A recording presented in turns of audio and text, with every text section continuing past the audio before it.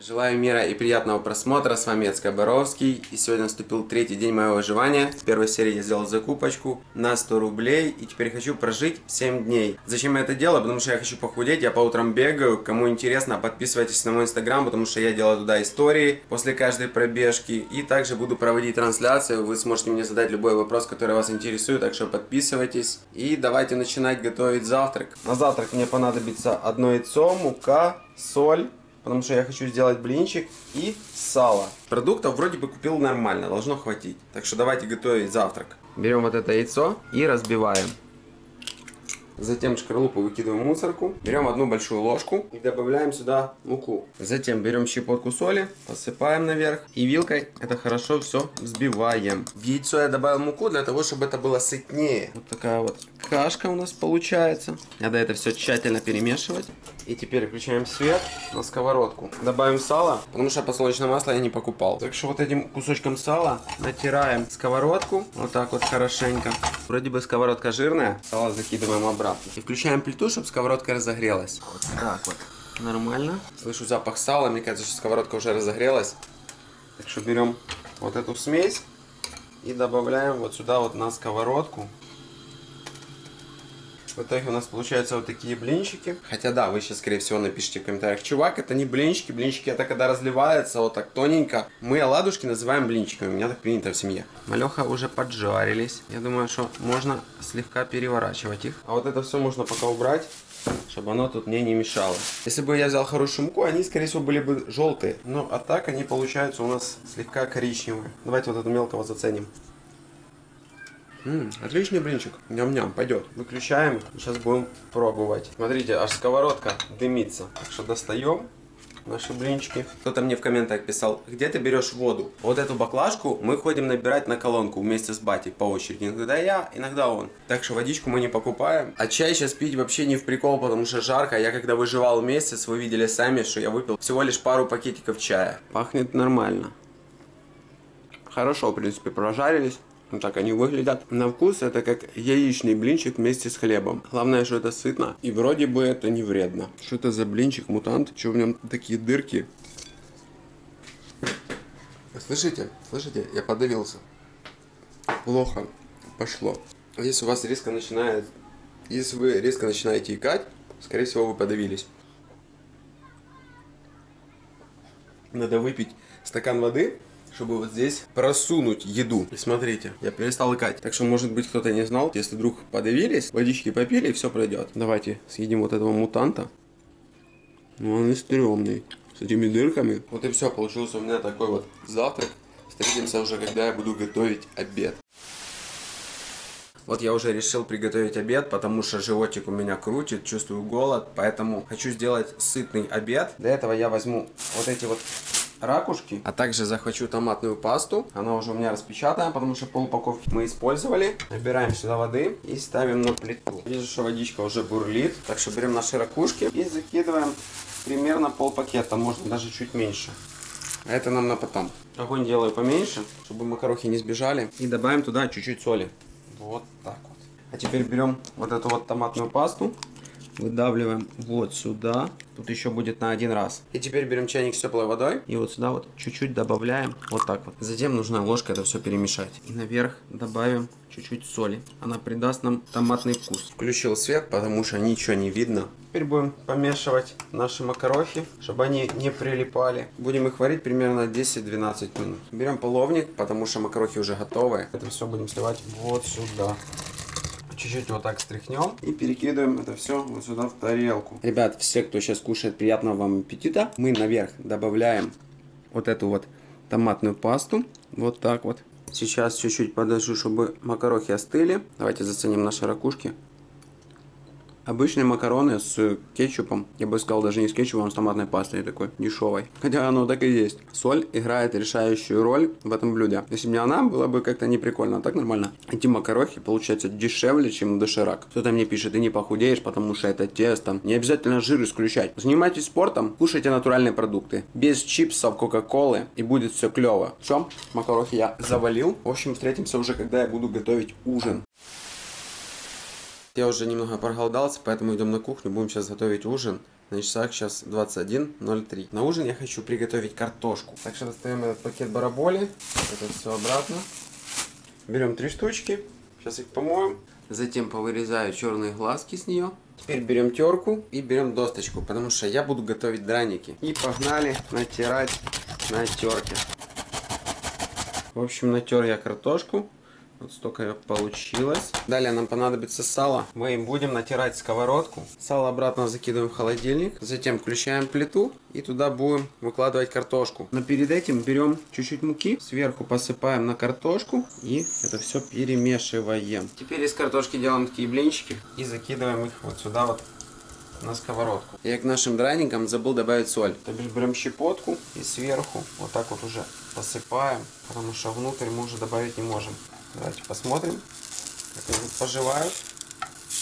Да, в принципе, они уже обжарились с одной стороны. Сейчас обжарим с другой стороны минуты 2-3 и будем уже их вынимать. Мне кажется, что дырыны уже готовы. Давайте вот этот мелкий пробуем. Вот это уже готовый. Вот так он выглядит. Все же хорошо, что я добавил соль. Потому что без соли было бы никудышня. Мне кажется, что драники уже остыли, можно кушать.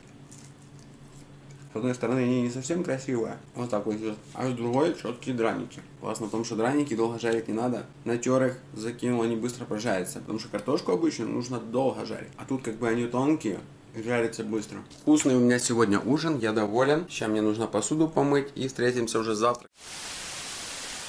Доброе утро, друзья! И сегодня наступил четвертый день моего выживания. Я пришел со своей пробежки, помылся. И хочу вам сказать, что я сегодня нормально так пробежал. Если кто не верит, можете перейти в мой инстаграм, убедиться. Также подписывайтесь, потому что я дальше буду выкладывать истории по поводу того, как я бегаю. Иногда буду проводить трансляции. Ну и, соответственно, фотографии новые будут выходить, так что подписывайтесь. Сейчас я хочу приготовить завтрак. А на завтрак мне понадобится рис, соль и одно куриное яйцо. Так что берем рунделек и, соответственно, сотейник. Сюда пересыпаем рис, а вот сюда выкладываем яйцо. Набираем водичку и ставим вариться. Пока яйцо варится, мне обязательно нужно промыть рис. Так что набрали водичку, вот так вот покупали и сливаем каламутную воду. Затем набираем чистую и ставим вот сюда вариться. Рис нужно промывать примерно 3-5 раз, этого будет достаточно. Ты что, сдурел? Ты что тут бегаешь? Я слышу, что тут какой-то шум. Выходи оттуда. Вот так вот Тифа тут развлекается.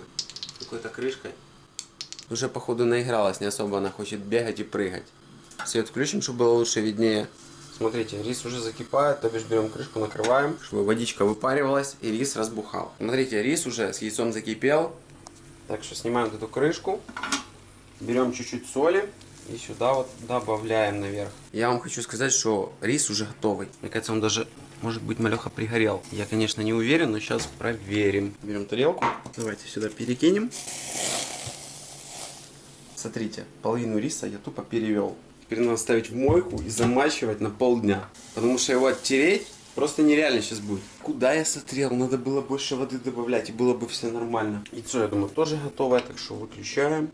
Отправляем его в холодную воду. Пусть здесь остывает. Давайте рис попробуем на соль. Маловато. Так что возьму чуть-чуть и добавлю вот сюда. Внутри хорошо отварилось. Не сырое, потому что когда Желток жидкий я не люблю. Рис очень сытный. Я кушаю, чувствую реально, что им наедаешься. Вот и все, завтраком закончено. Тарелку закинул в мойку. И хочу вам сказать, что я на протяжении дня стараюсь пить как можно больше воды, потому что она нормально усваивается в организме и тело худеет. Не знаю, фишка это работает, не работает. Я на своем опыте лично проверяю. Так что включимся, когда будет происходить что-то интересное. Сегодня полдня ходил по секонд-хендам, хотел найти каких-то футболок, либо же шорт, ничего не нашел. Уже проголодался капитально. В общем, пришел домой, сейчас буду готовить обед. На обед мне понадобится какая-то крупа. Давайте приготовим на этот раз пшеничную, я еще не готовил ее. Дальше берем вот эту крупу, пересыпаем вот в эту посуду. Вот так вот весь пакет. И набираем сюда водичку. И ставим вот сюда вариться. И хочу вам сказать, что в последнее время секонд-хенды очень жестко перевелись. Я прихожу туда в первые дни, а там нечего взять. Я сегодня объездил 4 секонд-хенда, чтобы вы понимали. И я ничего не купил. И я еще такой человек, что я не модник. Я не выбираю разные фирмы, за которыми гоняется молодежь. Я беру те вещи, которых мне комфортно и которые мне нравятся. Но сегодня не такой день, поэтому полдня проходил и все впустую. Порежем капусту, отрезаем один кусок и начинаем мелко шинковать. Салат этот перекинем вот сюда вот в тарелку. Мне кажется, что кашу уже надо солить. Потом, посмотрите, как она поднялась. что добавляем наверх соли. И также щепотку вот сюда вот тоже нужно добавить. Перемешаем эту капусту. Я слышу уже запах каши. Вот так она выглядит. Так что выключаем, потому что она уже готовая. Я надеюсь, она не подгорела. Берем эту кашку и перекидываем вот сюда. Я не знаю, что это сегодня за день такой. В общем, каша опять же перегорела, посмотрите. Кто знает, почему такая причина, напишите в комментариях. Потому что это капец, я столько продуктов перевожу. Как бы это не совсем прикольно. Вроде бы каша остыла, что-то новенькое, мы такую еще не ели. Все, я вспомнил. Меня такой кашу мама кормила. Только она туда еще курицу добавляла. И было неплохо. Мясных продуктов явно не хватает. Кто-то так четко в комментариях подметил, говорит, ты не выживаешь, ты правильно питаешься. Я бы не сказал, что это совсем правильное питание, потому что здесь нехватка белка. А так, в принципе, все норм. Я когда в армейке служил, так нас только кашами и кормили. Мяса там особо не было, либо какие-то секеля. Суп давали примерно такой, как я варил, гороховый. Там, конечно, кухня не шикарная. Все, я кашку доел. Капусту я съел не всю. Немного осталось. Сейчас мы ее закинем в холодильник, потом она нам пригодится еще. И включимся уже, когда я буду готовить ужин. Сейчас я решил приготовить ужин. У нас за окном идет дождь. На часах начало 10 Я же немного проголодался. На ужин хочу приготовить макароны. Я тут перебрал вот эту коробку и решил приготовить вот эти вот. Что берем рунделек, набираем в него водичку и ставим вот сюда на плиту вариться. Какой вариться? Чтобы вода закипела. Потом будем макароны закидывать. Что тебе надо? Что ты орешь? Вот ей позовешь, она сразу муар, сразу подает голос, да? Что такое? Еды дать? Да?